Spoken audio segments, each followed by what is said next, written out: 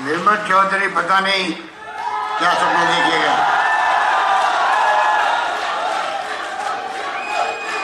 क्या इसके क्या लिखा हुआ है? कौन किस दिशा में जाएगा? क्या बनेगा? वो वैसे तो फिक्स है सबके लिए पर अपनी कोशिश होनी चाहिए पॉजिटिव सोच की। जो स, अपनी सोच रखता है पॉजिटिव रखता है, सकारात्मक रखता है, वो आगे बढ़ता है, कामयाब होता है। और उसका स्वास्थ्य अच्छा रहता है। और जो सोच नेगेटिव रखता है, नकारात्मक सोच रखता है, उसको तकलीफ़ आती है, उसका स्वास्थ्य अच्छा नहीं रहता, टेंशन नहीं रहता है। हमेशा छात्रों को चाहिए नेगेटिव सोच नहीं पॉजिटिव सोच रखिए जीवन के अंदर वो काम आए। और लंबा फ्यूचर आप लोगों का भी तो शुरुआत हुई है। कल का भारत का निर्माण, प्रदेश का निर्माण आपके कंधों पर आएगा। अभी जो आप जितने संस्कारवान बनेंगे यहाँ की संस्कृति राजस्थान की यहाँ की परंपराएँ महान है, अच्छे संस्कार प्राप्त करेंगे छात्र जीवन में तो मैं समझता हूँ कि आपकी पूंजी बन जाएगी ज़िंदगी की। मानव संसाधन के रूप में वो प्रदेश के काम आएगा, देश के काम आएगा। और हमारी सरकार उसी दिशा में आगे बढ़ रही है। हम चाहते हैं किस प्रकार से किस प्रकार से नई पीढ़ी को हम लोग अवसर दें अवसर दें। अवसर देना सरकार का काम भी होता है। और मैं आपको कहना चाहूँगा कि मैं आज से पहली बार जब सीएम बना 98 के अंदर उसके पहले ये माहौल नहीं था राजस्थान में शिक्षा के लिए। अभी राजेंद्र यादव साहब बता रहे थे आपको, कॉलेज का जाल बिछा दिया। 2011 कॉलेज खोली उसमें 91 कॉलेज गर्ल्स की खोली।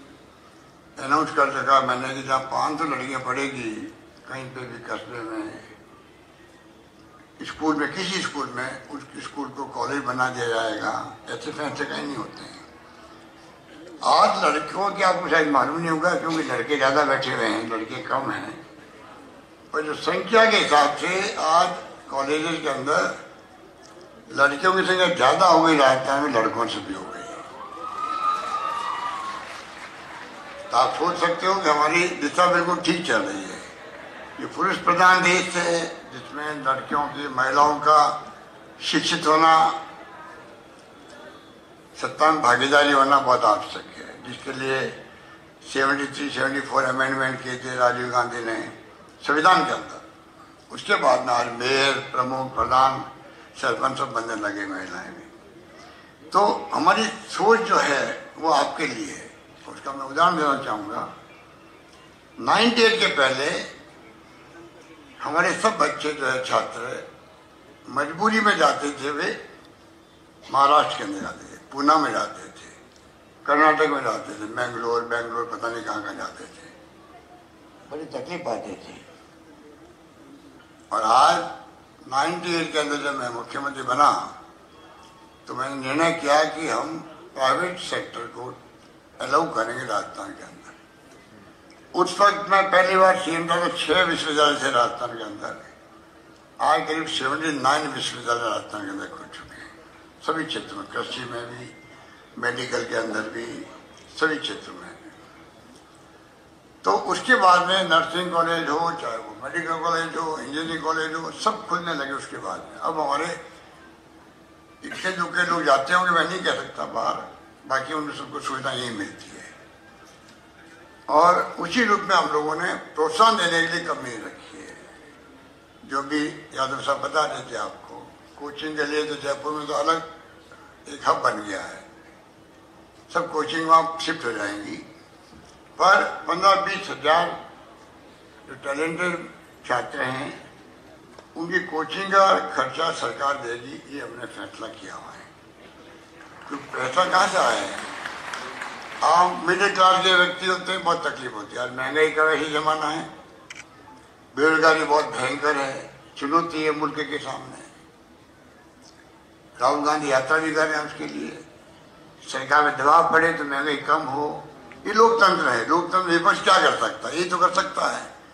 ध्यान आग्रहित करने, धरने दो, प्रदर्शन करो, यात्राएँ करो। और वो काम कर रहे हैं। देश में शांति, सद्भाव, प्यार, मोहब्बत सर्व रहे, आपस आपस में रहे। आप इन झगड़े नहीं हो, ये इच्छी में। तो जो मैंने प्राइवेट सेक्टर को अलाउ किया, उसका परिणाम है आज राजस्थान में माहौल बन गया है शिक्षा का, जो पहले नहीं था। पहले नहीं था। आज आई आई टी ये जो आज़ादी के बाद में जो बड़ी प्रीमियर इंस्टीट्यूट बनी थी देश के अंदर। एम्स भी उसमें है आई आई टी भी है आई सी ए आर भी है कृषि के लिए। बाबा एटॉमिक एनर्जी का संस्थान है। ऐसी ऐसी संस्थान बन गई उस वक्त में।